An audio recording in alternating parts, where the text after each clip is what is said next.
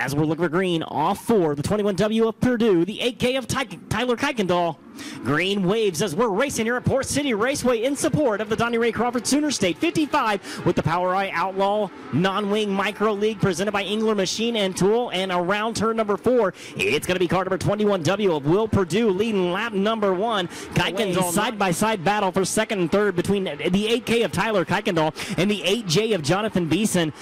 Kuykendall had it by point 008 that time by with an inside move. The 26K of Kale Drake going to take over the runner-up spot. Here comes Kuykendall to the lead.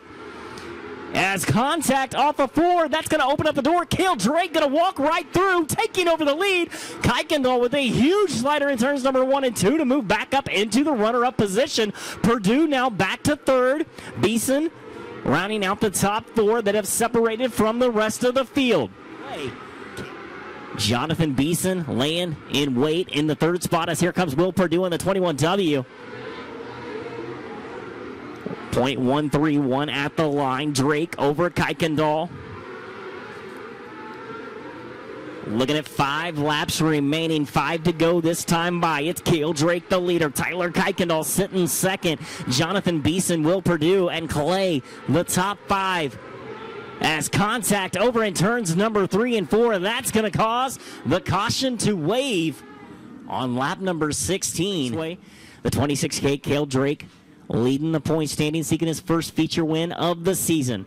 Out of four, green flag waves one more time. It's a Drake, Kuykendall, Beeson, all within striking distance. Throw Will Purdue in the mix as well as Jordan Jaden Clay having his hands full. Car number three, Cole Roberts down to the inside slide job as the one. H of Connor Lee gonna loop it. Exit of four. Caution will wave. Kale Drake setting the pace. Lights down, field set, coming to green out of four. 16 laps in the books, four laps to go. Drake there with a solid start. Kuykendall not fooled though as he's going to gain some speed down the back straightaway as they go into turns number three and four.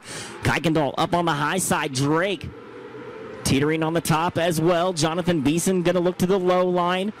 Will Purdue as car number three of Cole Roberts and the 66 of Jaden Clay going to go side by side out of turn number four.